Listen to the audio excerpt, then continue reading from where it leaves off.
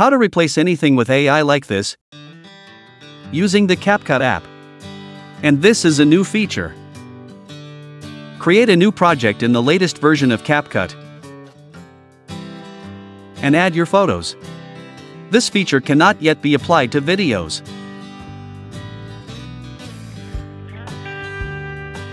Tap your photo clip, then find the AI Replace feature, and open it.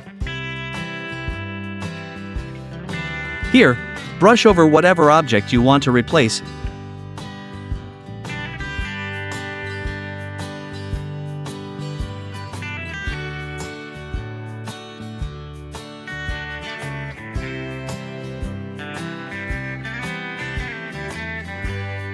Then describe in as much detail as possible what object you have brushed to replace.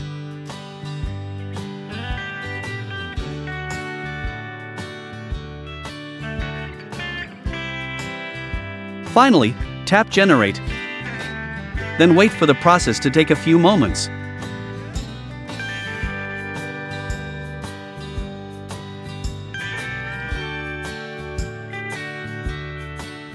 As a result, four image options will appear for you to choose from.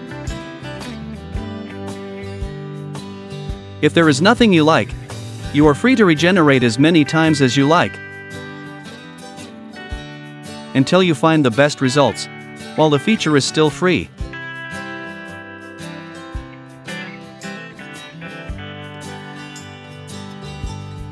Tap Apply. And done! That's the video tutorial this time. And thank you for watching.